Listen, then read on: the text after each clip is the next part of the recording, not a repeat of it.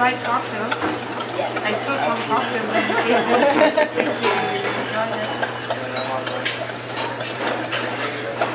What I have in this bowl is some gin. I'm just stirring in the liquid nitrogen, which is our trick for dropping the alcohol below its freezing point so we can get a nice fluffy sorbet texture. Beautiful violet ocean is called Pandu Violet. And it's made from the flower of Meghanas. And um, it's from the violet from the Alps.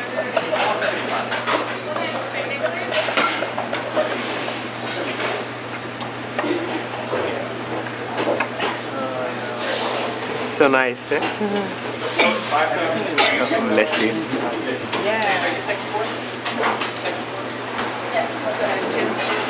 Oh, that's how it got hard, right?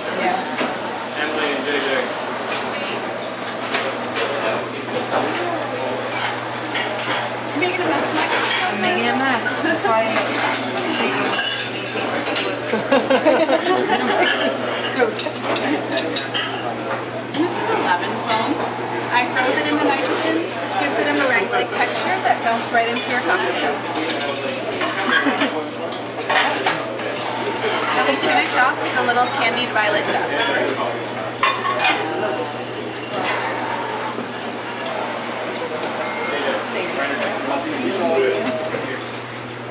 Thank of you.